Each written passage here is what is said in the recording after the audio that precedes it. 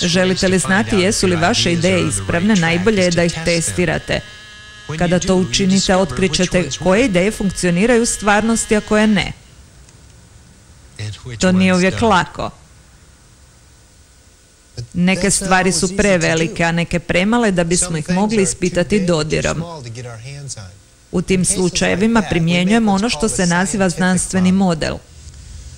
Znanstveni model u istinu je najbolje objašnjenje o tome kako nešto funkcionira. Ako pokušavam otkriti ono što smatram načinom kako nešto funkcionira, onda se to zove model, kao što je to model zrakoplova. To nije pravi zrakoplov, ali je najbolji mogući način prikazivanja zrakoplova. Primjenjujem ga pokušavajući otkriti kako funkcionira i to nazivam modelom.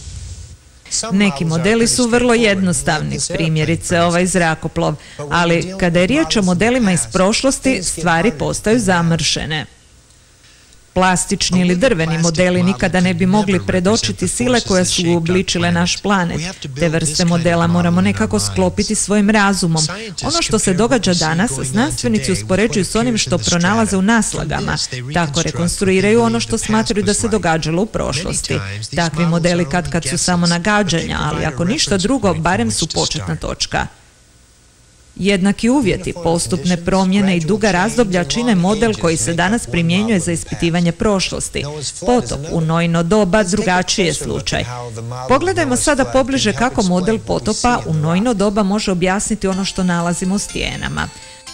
Prvo trebamo odbaciti netočnu ideju da je potop u nojno doba bio samo velika oluja s kišom. Dokazi koje nalazimo u stijenama ukazuju da je riječ o katastrofalnom događaju koji je nemoguće i zamisliti. Istina, možda je kišilo, ali bio je to samo početak.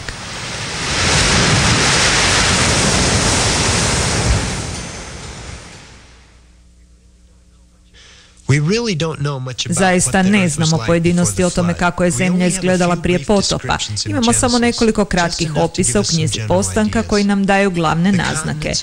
Kontinenti i mora su možda bili u sličnom poredku kao i danas. Lakša kora pokrivala je težu podlogu.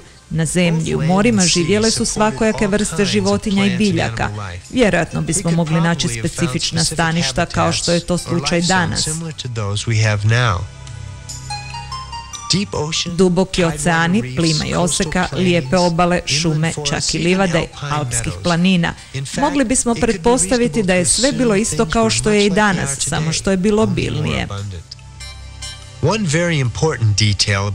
Važna pojedinost o zemlji prije potopa je činjenica da nije bilo kišnih oborina.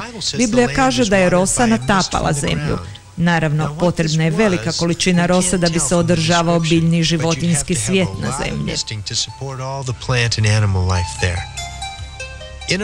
Pretpostavit ćemo u našem modelu da je zemlja dobivala vodu kroz mrežu jezera i riječnih tokova te iz onoga što nazivamo podzemne vode.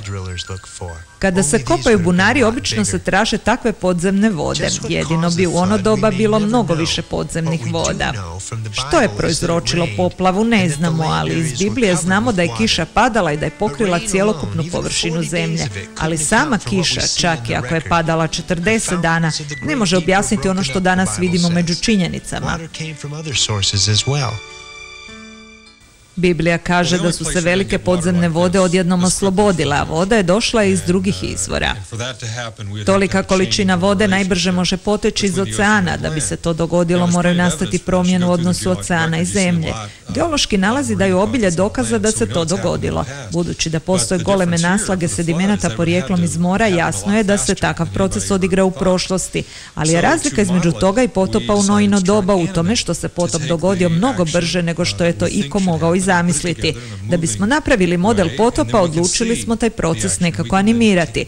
Tako smo animirali akciju za koju smatramo da se dogodila i postavili je u pokretne slike, da bismo mogli vidjeti samu akciju i razmišljati o njoj.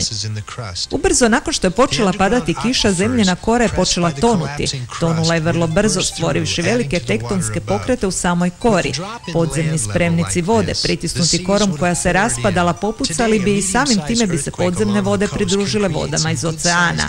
Ako je došlo do takvog pada razine zemlje, mora su se mogla vrlo lako izliti. U današnje doba čak i jedan potres srednje jačine može učiniti goleme valove u moru, ali to su samo najobičniji mali valovi u odnosu na ono što se dogodilo u prošlosti. Ne vjerujem da iko ima racionalno objašnjenje o tome što je natjeralo kontinente da se tako ponašaju, ali to nije ništa neobično. Većina je geoloških nalaza pod znakom pitanja ali kada promotrite taj fenomen s aspekta poplave, onda sve počinje polako dobivati logiku. Kad je voda najzad prekrila zemlju, različite vrste sedimenata mogle su se pomicati s jedne lokacije na drugu. Sedimenti morskog porijekla mogli su biti nataloženi na visoke točke kontinenata, a muljevite naslage su se razlile po onome što je nekada bila morska obala. Pepeo i lava od vulkanskih erupcija vjerojatno su se izmiješali s tim naslagama. Blokovi različitih tipova stijena nagomilali su se tijekom poplave jedni na druge. Kada je proces bio završen, visina tih slojeva mogla je biti čak i nekoliko stotina metara. Nakon nekog vremena kontinentalne stijene su se ponovno počele uzdizati. Kako su se uzdizale, kora se na nekim mjestima svijala, nabirala i pucala, tako su se vijenci planina uzdignuli iz tih pregiba i došli na udar vodama koje su nadirale sa zemlje. Različite količine vode ostale su zarobljene na zemlji i tako su nastala mora na mnogim mjestima voda se oslobodila iz tog zagrljaja zemlje i izrezala u njoj predivne kanjone, noseći sa sobom goleme količine sedimenata i ostavljajući ih stotinama i tisućama kilometara daleko od njihove prvobitne lokacije. Mislim da je model o potopu vjerojatno najbolji model koji poznajem. Vidim da taj model, barem što se mene tiče, može pružiti zadovoljavajuće odgovore o mnogim podacima koje imamo na terenu. Ideje nikada ne mogu opstati same.